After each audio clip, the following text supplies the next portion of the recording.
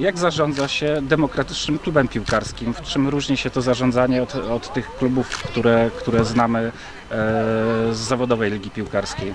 Nasz klub oparty jest na modelu społecznościowym. E, Polega to na tym, że założyliśmy stowarzyszenie, e, którego każdy członek e, po, e, jakby po zapisaniu się do stowarzyszenia, po spełnieniu szeregu różnych tam obwarowań, czyli po pierwsze po zaakceptowaniu wszystkich punktów statutowych i po opłaceniu składek może współdecydować o losach naszego klubu.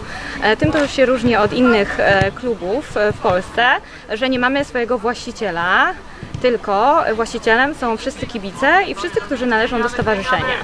Mimo, że mamy zarząd, to jednak każdy na walnym zgromadzeniu członków ma jeden głos, który współdecyduje o losach klubu. Czyli to jest podstawowa różnica, że nie mamy stricte jednego właściciela, który ma klub, posiada i nim zarządza, tylko wszyscy sympatycy, członkowie stowarzyszenia mają swój istotny głos i e, jakby zarządzają tym klubem.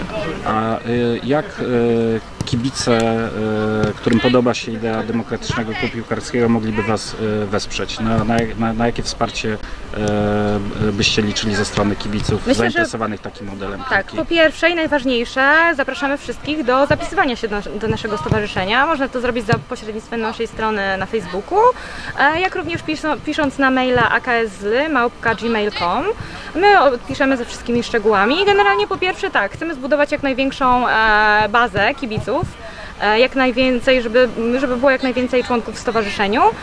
E, I po pierwsze to, a poza tym oczywiście wspierać nas na meczach, zarówno tych domowych, jak i wyjazdowych.